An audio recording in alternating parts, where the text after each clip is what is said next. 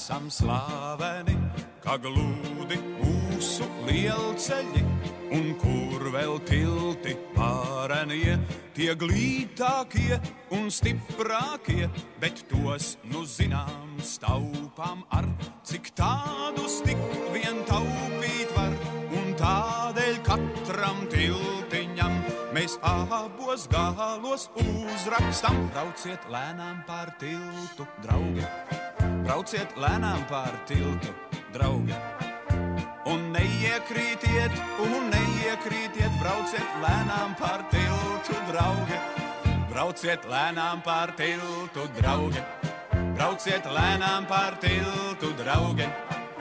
Un neiekrītiet, un neiekrītiet, brauciet lēnām pār tiltu, draugi.